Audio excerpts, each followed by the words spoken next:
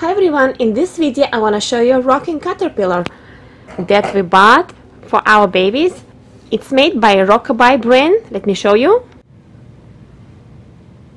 It looks very friendly and it's also soft and whole the toy has a wood core and wood rockers inside.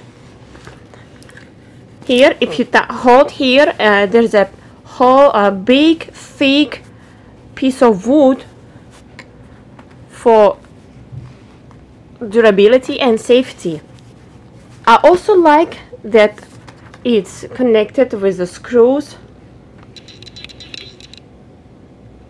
You see, big screws here, here on the side.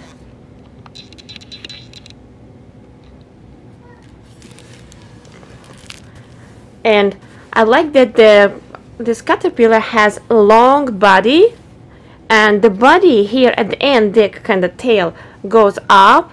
It creates a small a little support for the baby's back when baby is rocking.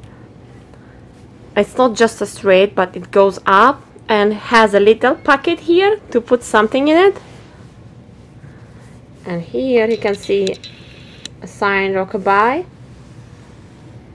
the holders uh, for the hands are really big for the baby's hand. It's enough even for me.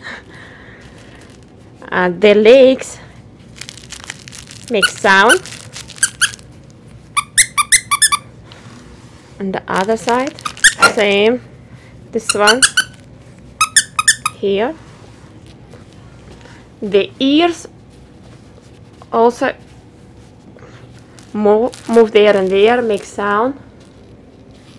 I will post the measurements of the uh, rocker's length, the height of the toy, and the length of the seat on the website so you can see it.